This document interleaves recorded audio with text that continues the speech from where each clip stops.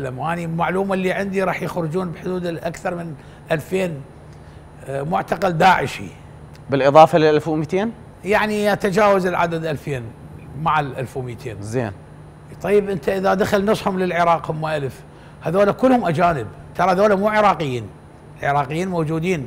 موجودين بالعراق العراقيين سلموا والآن بالسجون.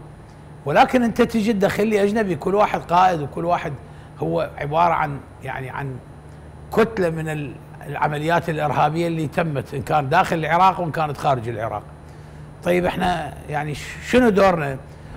عملية تركيز على الحدود نعم يعني سيكون هنالك تركيز وتركيز عالي ولكن أنت ما تقدر تمسك يعني إذا أنت آه، تركت قطيع من 2000 راس غنم وراح يعبر عليك فد كم نعم. واحد ما, ما يعني هو هو الموضوع وكأنما نشعر وكأنما لا تريد الولايات المتحدة الأمريكية بإنهاء تواجد قوات التحالف من الأرض العراقية لأنه العراق غير مستقر امنيا.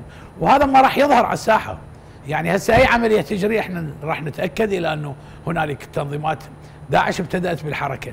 وسمعناها بإذاننا من السفيرة الأمريكية إلى أنه داعش لغاية الآن يشكل خطر على العراق.